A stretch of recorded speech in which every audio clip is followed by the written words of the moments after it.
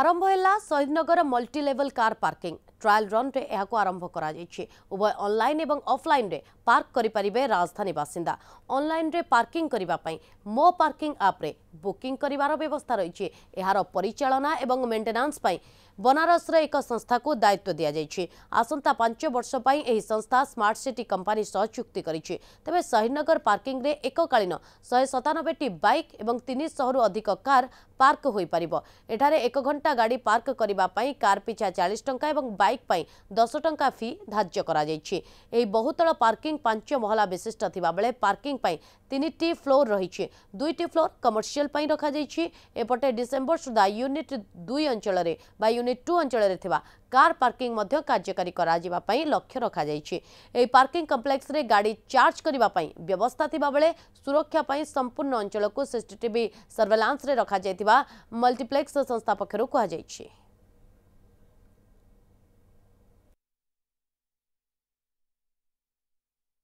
trial start किया है public का रिस्पांस बहुत अच्छा आ रहा है